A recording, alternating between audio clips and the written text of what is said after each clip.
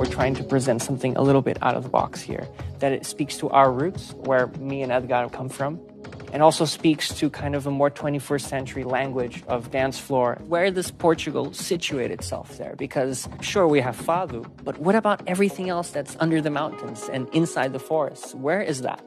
We are trying to balance this and we are trying to find this purpose also in this relation with nature. And somehow I feel that this is something uh, uh, very important for the alchemy of doing something that gives you this shamanic feeling when you're on the dance floor. So it's where we meet.